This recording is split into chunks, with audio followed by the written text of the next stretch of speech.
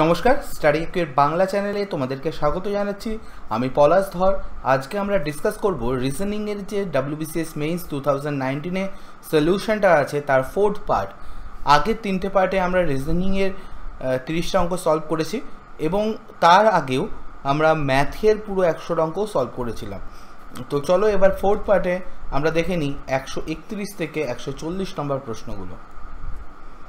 প্রথম problem A, P, R, X, S and Z are sitting in a row. এটাকে sitting অ্যারেঞ্জমেন্টের problem দিয়েছে। ছয়জন লোক আছে। কে কে আছে?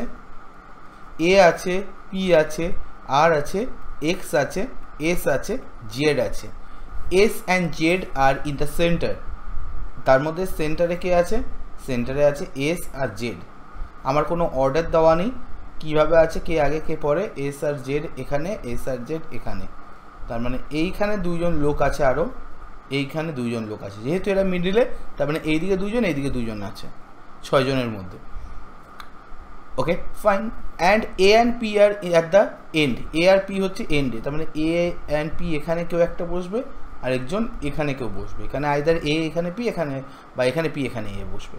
At the ends R is sitting on the left of A এর লেফটে আর আছে। আচ্ছা দেখো। এর লেফটে যদি আর হয়, এ যদি এখানে বসে, তাহলে এর লেফটে আর বসলে এই দিকে। কিন্তু এ তো লেফট এন্ডে রয়েছে, তাহলে এর লেফটে আর কেউ বসতে পারবে না।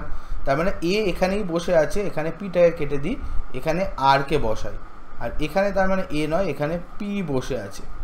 ক্লিয়ার আশা করি? তার মানে বাকি রইলকে এক্স এক্স এখানে বসে যাবে। Okay fine then who is sitting on the right of P right of P কে বসবে? রাইট অফ পি হচ্ছে এক্স আছে। ওকে তো অপশান সি হচ্ছে কারেক্ট এখানে যদিও এস আর জেডের আমরা কারেক্ট পজিশন বুঝতে পারিনি, এর মধ্যে কেউ একটা এস এখানে, কেউ জেড এখানে বসবে বা জেড এখানে এস এখানে বসবে। তো যদিও এটা আমাদের খুব একটা ম্যাটার করল না, কারণ এখানে ডিজায়ার অ্যান্সারের জন্য এইটার কোনো দরকার ছিল না।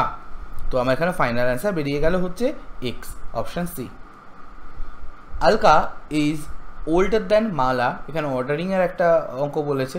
Alka is older than Mala, তাহলে okay Alka is older than Mala then বলছে Gopal is older than Mala গোপালও old মালার থেকে ওল্ডার কিন্তু ইয়ঙ্গার দ্যান আলকা কিন্তু আলকার থেকে ইয়ঙ্গার তাহলে গোপাল হচ্ছে এদের দুজনের মাঝামাঝি থাকবে। ওকে, তো আমি এটাকে ইয়ে করি। এই জায়গাটা আমাদের এরকম হওয়া উচিত ছিল। তাহলে কীরকম হওয়া উচিত ছিল? যে আলকা গোপাল মালা। একটু গ্যাপ রাখলাম যদি মাঝে কেউ বসে আদারওয়াইজ ওপর নিচে। দেন বলছে কি Kapil is younger than Ram and Mala Kapil হচ্ছে রাম আর মালার থেকে ইয়ঙ্গার তাহলে কপিল নিচে কোথাও একটা বসবে? আর রামও আছে মানে রামও এর ওপরে বাট এখানে এটা বলে দিয়েছে Mala is older than Ram তার মানে রাম এখানে। কারণ মালা হচ্ছে রামের থেকে ওল্ডার কিন্তু এই কপিল যে কপিল কিন্তু রাম এবং মালা দুজনের থেকেই younger then whose age is between Gopal and Ram Gopal আর রামের মাঝামাঝি কার বয়স? গোপাল আর রামের মাঝামাঝি হচ্ছে মালার বয়স হবে। অপশান এ হচ্ছে কারেক্ট অ্যান্সার হবে। Next I am facing south আমি আগে এটা ডাইরেকশন টেস্ট যেহেতু, আমি এটার একটা বেসিক একটা স্ট্রাকচার রেখে নিই। এটা হচ্ছে নর্থ জানো এটা সাউথ এটা ইস্ট এটা ওয়েস্ট এবার যদি আমি করতে যাই I am I am facing south তার মানে হচ্ছে আমি সাউথে ফেস করে আছি। I turn right and walk twenty metre এটা মিটার হবে। আই টার্ন রাইট রাইটের দিকে টার্ন নিলে কোন দিকে যাব? এই দিকে যাব। অ্যান্ড ওয়াক টোয়েন্টি মিটার তাহলে ফার্স্টে টোয়েন্টি মিটার গেলাম। তারপর বলছে then I turn right again আবার রাইটে টার্ন নিলাম। তাহলে আবার রাইটে টার্ন নিয়ে কত গেলাম? দশ গেলাম। ফাইন দেন বলছে দেন আই টার্ন লেফট আবার লেফটে গেলাম অ্যান্ড ওয়াক টেন মিটার আবার লেফটে গিয়ে টেন মিটার গেলাম। দেন কি বলেছে? Then I turning then turning right and walk twenty metre আবার রাইটে রাইট মানে কোন দিকে? এই দিকে, এবং এবার হচ্ছে টোয়েন্টি দেন বলছে কি? And then walk sixty and then I turn right and walk sixty রাইটে টার্ন সিক্সটি ওকে সিক্সটি গেলাম। দেন বলছে at that point and in which direction I am facing from the starting point starting point থেকে কোন দিকে মুখ করে আছি? আচ্ছা এখানে টোটাল কত গেছিলাম এখানে দশ আর কুড়ি। এই এই লাইনে আমি গেছিলাম হচ্ছে তিরিশ। আর এই লাইনে গেছি ষাট।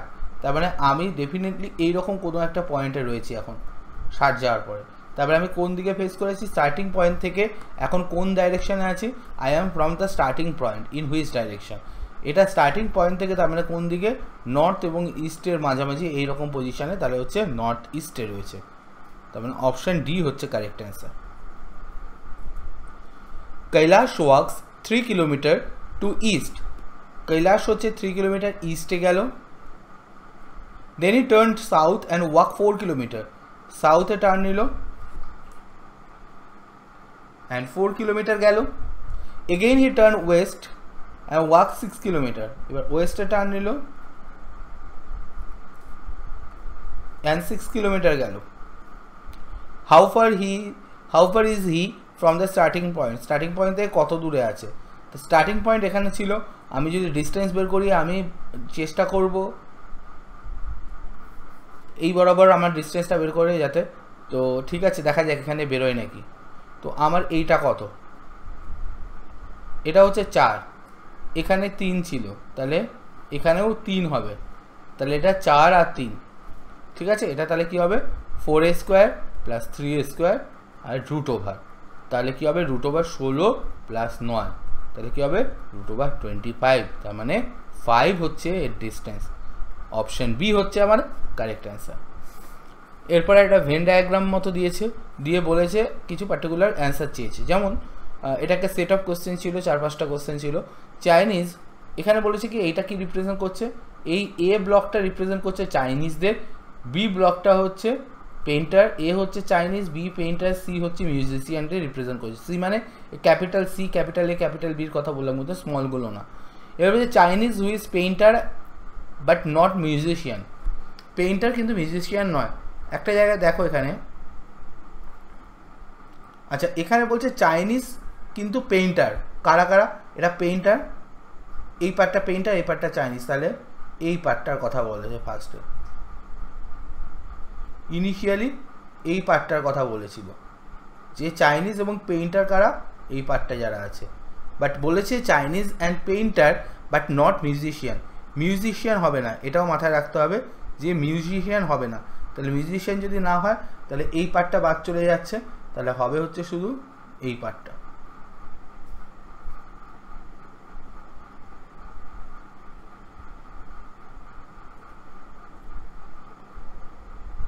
তাহলে এই পার্টটার কথা বলা হয়েছে।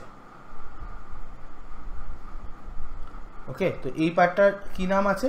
বি আছে। তাহলে অপশান এ হচ্ছে কারেক্ট বি রিজিয়নটার কথা বলা হয়েছে। পরেরটা দেখি। পরেরটা কি বলেছে?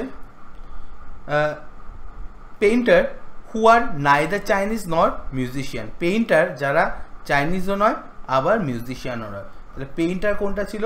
পেইন্টার তো পুরোটা ছিল। পেইন্টার তো পুরোটা ছিল পেইন্টার এই পুরো পার্টটা ছিল, দেখতে পাচ্ছি, এই পার্টটা পুরো।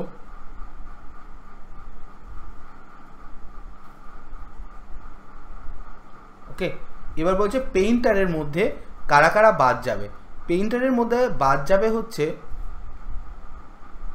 বাদ যাবে হচ্ছে চাইনিজ এবং মিউজিশিয়ান দুইজনেই। চাইনিজ কোন পার্টটাকে বলছে? চাইনিজ হচ্ছে এই পার্টটা এই পার্টটা চাইনিজ আর মিউজিশিয়ান হচ্ছে এই পার্টটা তাহলে চাইনিজ আর মিউজিশিয়ান মানে পুরো এই পার্টটা বাদ চলে যাবে। ঠিক আছে? তাহলে এই পার্টটা বাদ চলে যাবে। আমি বাদের পার্টটাকে মার্ক করে দিচ্ছি। তাহলে বাকিটা হচ্ছে তোমার ডিজায়ার্ড অ্যান্সার হবে। তাহলে এই পার্টটা হচ্ছে কি ছিল? এই পার্টটা ছিল হচ্ছে চাইনিজ তো চাইনিজ বাদ চলে গেল। আর মিউজিশিয়ান কোন পার্টটা ছিল? মিউজিশিয়ান ছিল এই পার্টটা সি আর ই পার্টটা ছিল মিউজিশিয়ান ঠিক আছে? এ আর বি আর সিটা ছিল হচ্ছে চাইনিজ আর সি আর ই ছিল হচ্ছে মিউজিশিয়ান তাহলে পড়ে থাকল এই পার্টটা এই পার্টটা কি? এই এফ এর পার্টটা হচ্ছে পেইন্টার্স যারা কিনা চাইনিজ না মিউজিশিয়ান নয় এইটা। নেক্সট কি বলেছে? Musician Chinese who are musician but not painter Chinese যারা কিনা মিউজিশিয়ান বাট পেইন্টার নয়। ওকে ফাইন তো উল্টোটা হবে। চাইনিজ যারা মিউজিশিয়ান কিন্তু পেইন্টার নয়। দেখো চাইনিজ যারা কিনা মিউজিশিয়ান অ্যান্ড পেইন্টার যদি বলি, তাহলে হচ্ছে এই পার্টটা হবে। ঠিক আছে? তাহলে যারা মিউজিশিয়ান কি চাইনিজ যারা মিউজিশিয়ান তারা হচ্ছে এই পার্টটা পুরো। বাট এর মধ্যে এই রকম একটা পার্ট আছে সি পার্টটা সি পার্টটাও আছে। যেই পার্টটা কিন্তু, যেই পার্টটা কিন্তু এই সি পার্টটা যেটা আছে, এই যে সি পার্টটা আমি যেটা বাদ আমি সেটাকে মার্ক করে দিচ্ছি। এই যে সি পার্টটা এই সি পার্টটা কিন্তু পেইন্টারের মধ্যে চলে যায় পেইন্টারের মধ্যে চলে যাচ্ছে বাট পেইন্টারকে এক্সট্রাক্ট মানে এক্সক্লুড করতে হবে, তাহলে কিন্তু শুধু এই পার্টটাকে নেব। ওকে মিউজিশিয়ানের পার্টটা তাহলে ডি হচ্ছে আমাদের correct answer option A last এই এই টাইপটার লাস্ট অঙ্ক, বা লাস্ট প্রবলেম বলতে পারো। বলছে কি, যে Chinese who are painters as well as musician Chinese যারা কিনা পেইন্টার্সও হবে, আবার মিউজিশিয়ানও হবে। চাইনিজ পেইন্টার মিউজিশিয়ান আচ্ছা ভালো কথা।